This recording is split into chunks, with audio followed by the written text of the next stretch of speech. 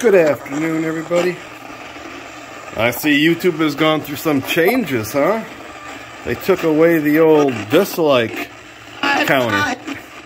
You know what that means for my for my hater who who has 12 different accounts? Nobody can see it. That, that's a fucking shame, huh? hey, I always left it up. I left it up for everybody to see. I didn't care. Have at it. I was just reading my book, Madhouse. It's about insane asylums in New York State. It's about 10 chapters? Man, maybe more. Sharon? Yeah, you know who Sharon is? That's wild. 16 chapters. Sharon is the one who runs Rolling Hills Asylum, is where I have it opened up to. What about Sharon?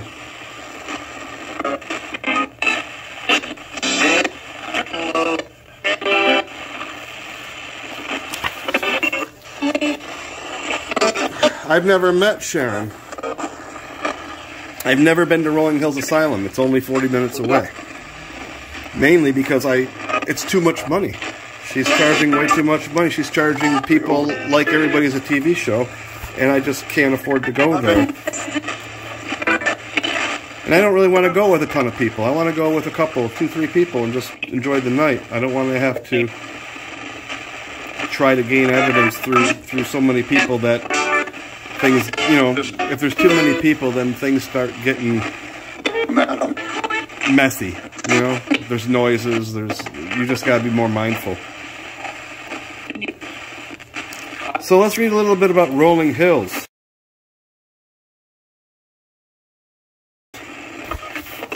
How,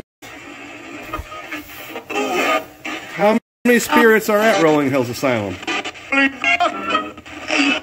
Thought I heard many before I even asked. So just before Christmas in the year 1826, an official announcement was made in reference to a meeting of the Genesee County Board of Supervisors in Bethany in order to establish a county poorhouse. More often than not, those in need of a county poorhouse were the orphaned, destitute, elderly, physically handicapped, or those judged to be insane.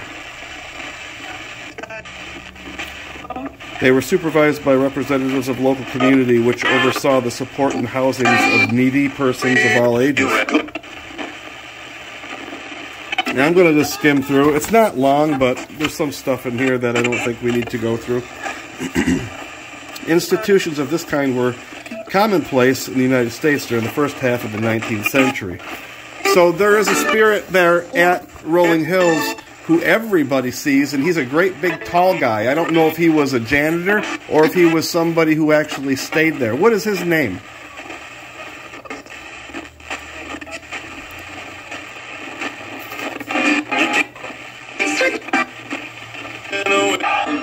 Who is that tall spirit at Rolling Hills?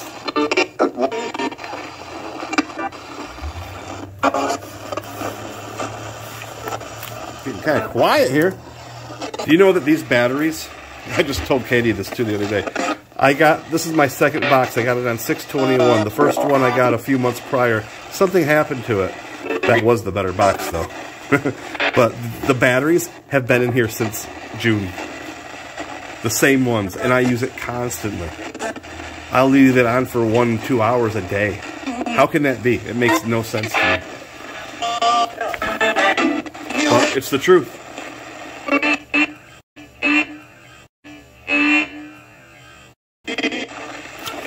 Right, a large multi-story brick building, originally a stagecoach tavern located near the Bethany Center and Raymond Roads, was chosen as the best location for the poorhouse. It also happened to be the exact geographical center of the of the country at that time. Oh, I almost said count. No, it was county. I'm sorry. I can't see. On December 9th, 1826, the following announcement appeared in the Batavia Times newspaper.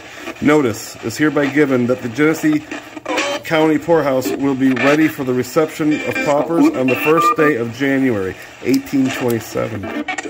Overseers of the poor in several towns of the county of Genesee are requested, in all cases of removal of paupers, to the county poorhouse. To send with them their clothing, beds, bedding, such other articles belonging to the paupers as, as may be necessary and useful to them. I'm sorry, I don't have glasses on, and I have a hell of a time seeing from 0 to 24 inches. and if I hold it way back, that's even harder. so bear with me. The categories of persons who considered eligible for admission were habitual drunks, lunatic, were drunkards, lunatics, one who by disease, grief, or accident lost to the use of reason, or from old age, sickness, or weakness, was so weak of mind as to be incapable of governing or managing their own affairs. State paupers, who one is blind, lame, old, or disabled with no income source or vagrants. The next year in 1828, the county constructed stone, a stone building which was attached to the poorhouse expressively for the confinement of lunatics. And that's what Rolling Hills looks like. It's pretty cool. Looks like a church almost. Rolling Hills, Rolling Hills Asylum, are you coming through today?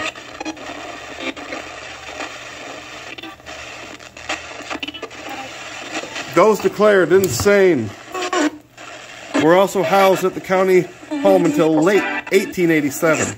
Yes. When the Board of Supervisors voted to send persons suffering with acute insanity elsewhere in the state.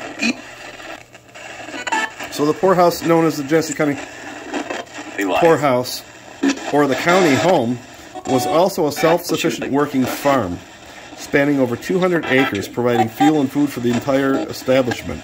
The actual cost per person was very low, amounting to a dollar per week per resident. Many of the residents also crafted things to sell. The farm workers raised Holsteins, pigs, draft horses, chickens, and ducks, vegetables, and fruits. They canned jams, jellies, and meats. They also manned a bakery and a wood shop where coffins were made for use as needed and for sale to local mortuaries. Damn. Uh, when an inmate grew old or very ill and died, the county buried those who had no family, and the remaining records indicate there was once a cemetery on the property, but there are no records to show that there was. At a meeting in 1886, the minutes state, the burying ground we have improved by building a fence in front and grading and leveling the ground as much as we could to be done without injury to the graves. Hmm. So maybe there, there was burial on the grounds. As times passed and the gravestones crumbled, the cemetery's location became obliterated by roots, weeds, grass, and forest. What was that? No one tended the graves, and all who died there were forgotten. Oh man, that's horrible. Are there any forgotten spirits from the Rolling Hills Asylum that need any help?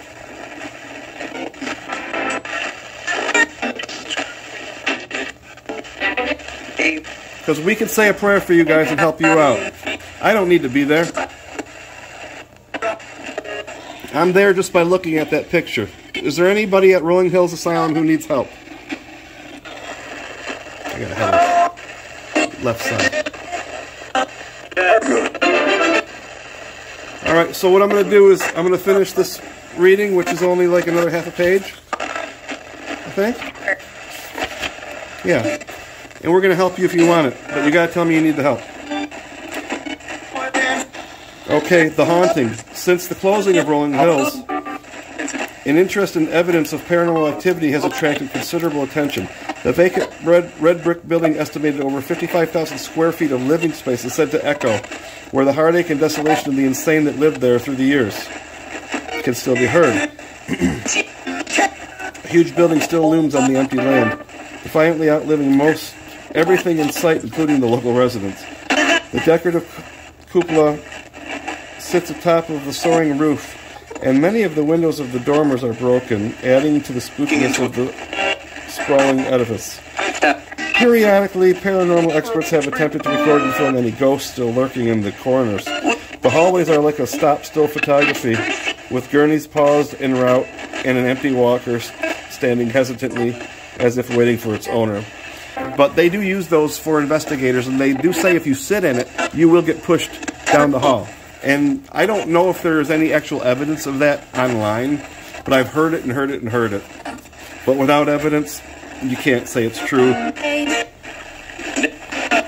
The kitchen seems prepared for dinner guests, the banging of pots and pans and the hiss of steam from the kettle, the floors still gleam in sections, almost whispering by themselves without a squeaky whistles of the nurse's shoes. Um, so this is just stupidness. The curious and the eagerness will continue to explore. He's just trying to make it spooky at the end. There's nothing really here to, to read. So, Rolling Hills, where are you at? Are you here? Spirits of Rolling Hills? If there are any spirits from Rolling Hills who need help, who are lost, who are sick, who are confused, we're going to call on white light to bring down guides, angels, and helpful spirits to take those spirits from Rolling Hills and send them back up to be with their families and loved ones. Can we do that? And what I'm going to do is envision that white light coming down over top of Rolling Hills, all around it, engulfing the whole building. And you guys, all you have to do is look up and go up.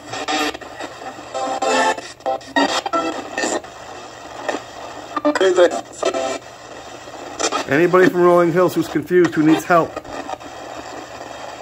who doesn't want to be there, you look up and you go up. That door is open for you.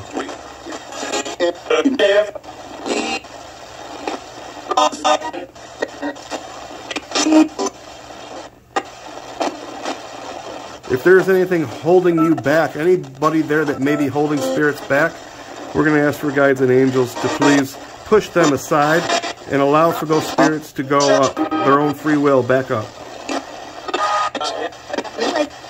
Do you hear me?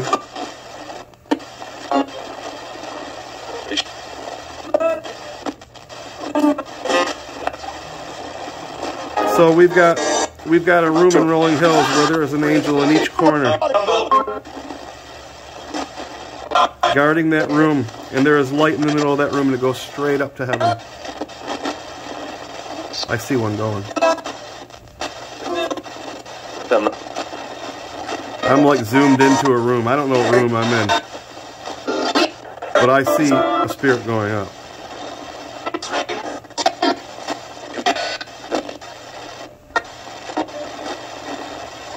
There's another one waiting. Everybody go up who's going.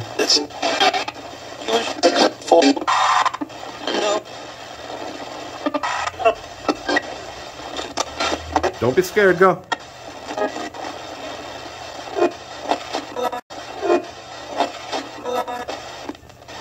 How many went? Three? I saw two. All right, three went. That's awesome. Are there any more that need to go, yes or no?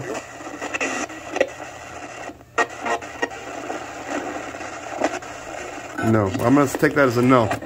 Thank you. We're going to close this session now. We're going to close that room off. Angels, thank you.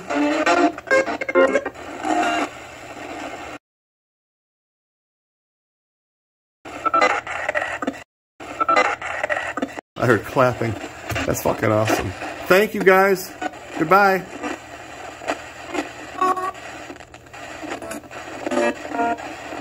And that's it, you guys. I know this was extra long, but I did want to. I did want to have a little backstory here as to what I was doing. This was something that was on my mind since I read it the first time. Okay, thank you. Goodbye. Hey, happy holidays. Even even you, and all your different profiles. Goodbye.